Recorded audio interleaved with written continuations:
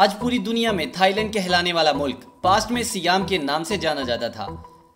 पूरी दुनिया से लोग इसकी खूबसूरती को देखने के लिए भागते हुए आ जाते हैं। इस मुल्क में कहीं आपको कुदरत की कारीगरी नज़र आती है तो कहीं इंसानों की नुमाइश। कहीं आपको मस्जिदें नज़र आती हैं तो कहीं सरेआम बिकता हुआ जिस्म ये थाईलैंड है मेरे दोस्त, और यहाँ सब कुछ बिकता है। आज़ाद जहन लोगों का मुल्क है ये। यहाँ सिर्फ़ आज़ाद ख्याल लोग ही नहीं रहते, बल्कि तरीक में भी ये मुल्क कभी किसी का गुलाम नहीं बना। एक ज़माना था जब यहाँ खाने पीने की चीज़ें भी दूसरे मुल्कों से इम्पोर्ट की जाती थी, लेकिन आज ये एक संती मुल्क बन चुका है। इस मुल्क के बारे में आज मैं आपको बहुत ही इंटरेस्टिंग फैक्ट बताने जा रहा हूँ। लिहाजा वीडियो को लास्ट तक लाजमी देखिएगा।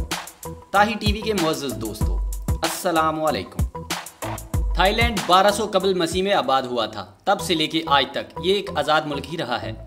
इस मुल्क का मौजूदा रकबा तेरह हज़ार एक सौ बीस मुरबा किलोमीटर है और आबादी के लिहाज से ये दुनिया के बाईसवें नंबर पर आता है।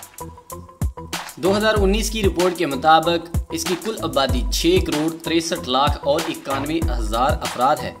मुल्क का मुकम्मल नाम किंगडम ऑफ़ द थाईलैंड है। बैंकॉक इस मुल्क का सबसे बड़ा सिटी है। और इस मुल्क का कैपिटल भी यही है। बैंकॉक की कुल आबादी एक करोड़ के करीब है और यहाँ का रकबा तकरीबन 1500 किलोमीटर है। ये शहर पंद्रहवीं सदी में कायम हुआ था। इस शहर को अमीरों का शहर भी कहा जाता है। यहाँ पर रहने वाले एक करोड़ लोगों में से चौंसठ हज़ार के करीब करोड़पति हैं। यही वजह है इसे अमीरों का शहर कहने की। इस शहर में हर चीज़ सेल हो जाती है, बस बोली लगाने वाला होना चाहिए। पूरी दुनिया से लोग यहाँ पर घूमने के लिए आते हैं और इस शहर की रंगीनियों में खो जाते हैं। दुनिया में शायद ही ऐसा शख्स हो जो थाईलैंड के नाम से वाकिफ ना हो। थाई मसाज तो पूरी दुनिया में मशहूर है। कोई ऐसा शख्स नहीं जो ये नहीं जानता हो। थाईलैंड में कोई भी लड़का लड़की 20 साल की उम्र से पहले शादी नहीं कर सकते। इस मुल्क की कौमी ज़ुबान थाई है। इस मुल्क में सबसे ज़्यादा इस्तेमाल होने वाली दूसरी ज़ुबान लाऊ है। कामयूवांग पाक थाई खमीर और यावी भी ज़्यादा इस्तेमाल होने वाली ज़ुबानों में आती हैं। सरकारी तौर पर मुल्क में बासठ ज़ुबानें तस्लीम शुदा हैं। इंग्लिश हर स्कूल में लाजमी सिलेबस के तौर पर इस्तेमाल होती है। बुद्ध मत यहाँ का सबसे बड़ा मज़हब है और तिरानवे फ़ीसद लोग इसी में शामिल हैं। पाँच परसेंट लोग मुसलमान हैं जो तकरीबन बत्तीस लाख साठ हज़ार बनते हैं। यहाँ पर हलाल फ़ूड आपको आसानी से मिल जाता है।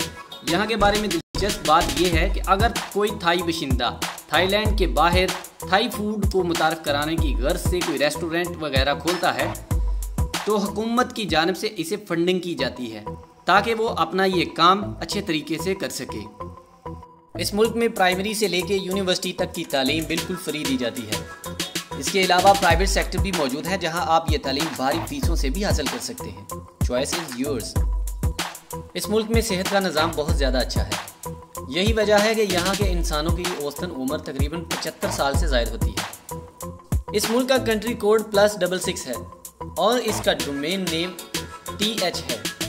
एशियाई ममालिक में थाईलैंड दूसरा बड़ा, सबसे ज़्यादा ऑयल इंपोर्ट करने वाला मुल्क है। थाईलैंड एशियाई ममालिक में कुदरती गैस पैदा करने वाला सबसे बड़ा मुल्क है। और यहाँ पर बिजली की ज़रूरत का पचहत्तर फ़ीसद कुदरती गैस से पैदा किया जाता है।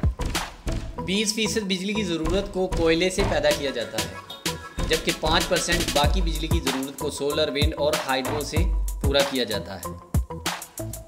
यहाँ पर फ़ी कस आमदनी बीस हज़ार डॉलर से क्रॉस कर चुकी है। यहाँ की करेंसी को भाट कहा जाता है और एक भाट पाकिस्तान के पाँच अशारिया तेईस रुपये के बराबर है। इस मुल्क का कौमी खेल मो थाई, यानी थाई बॉक्सिंग है। इसके अलावा इस मुल्क के मशहूर खेलों में फुटबॉल, स्नोकर वगैरह भी शामिल हैं। थाईलैंड में रहते हुए बादशाह के बारे में कुछ बुरा कहने पर पंद्रह साल तक की सज़ा हो सकती है। थाईलैंड में सबसे ज़्यादा काश्त होने वाली फ़सल चावल है। बैंकॉक यहाँ का कैपिटल है। बैंकॉक पताया और फॉकेट, इस मुल्क के सबसे मकबूल तरीन तफरी मकाम में से हैं। और यहाँ पर हर साल बहुत ज़्यादा गैर मुल्की आते हैं। नोंथा बोरी मुल्क का दूसरा सबसे बड़ा शहर है, जहाँ तकरीबन पचास हज़ार लोग रहते हैं। सफ़ेद हाथी कसरत से थाईलैंड में पाया जाता है और यही थाईलैंड का कौमी जानवर भी है। पूरी दुनिया में कुल छः हज़ार हाथी हैं, जिनमें से तीन हज़ार हाथी सिर्फ़ और सिर्फ़ थाईलैंड में हैं। इस वक्त थाईलैंड में पैंतीस हज़ार से ज़्यादा टेम्पल्स मौजूद हैं। अगर आप हर रोज़ एक टेंपल में जाएँ और इसी अमल को दोहराते जाएँ तो पूरे टेंपल को देखने के लिए आपको पचानवे साल लग सकते हैं। दुनिया का सबसे बड़ा गोल्ड का बना हुआ बुद्धा भी यहीं पे मौजूद है। थाईलैंड की आमदनी का 20 फ़ीसद हिस्सा सियाहत से हासिल होता है। 2018 की रिपोर्ट के मुताबिक इस मुल्क में तीन करोड़ सत्तर लाख बयासी हज़ार लोग विज़िट करने के लिए आए। जिनमें से दो करोड़ लोग यहाँ के मशहूर शहर बैंकॉक में ही रुके थे। बैंकॉक को तो सभी जानते हैं, लेकिन शायद ही कोई ऐसा शख्स हो जो इसके असली नाम से वाकिफ हो। मेरे ख्याल में आप भी इसके असली नाम से वाकिफ नहीं हैं। अगर ऐसा ही है तो कमेंट बॉक्स में मुझे ज़रूर बताइए, ताकि मैं इसके नाम के बारे में आपको बताऊँ। दुनिया का सबसे बड़ा रेस्टोरेंट भी थाईलैंड में मौजूद है, जहाँ पे एक वक्त में पाँच हज़ार से ज़्यादा लोग बैठकर खाना खा सकते हैं। क्यों? है ना हैरानी वाली बात। थाईलैंड में आपको हर किस्म का मौसम भी मिल जाता है। दुनिया में पाया जाने वाला मगरमच्छों का सबसे बड़ा फार्म भी थाईलैंड में मौजूद है। दुनिया में पाई जाने वाली सबसे बड़ी मछली, यानी 12 मीटर लंबी मछली, इसका घर भी थाईलैंड के समंदर ही है।